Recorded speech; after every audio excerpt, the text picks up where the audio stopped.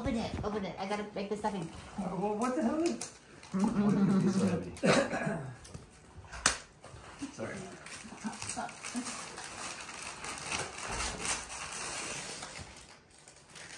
I got it not.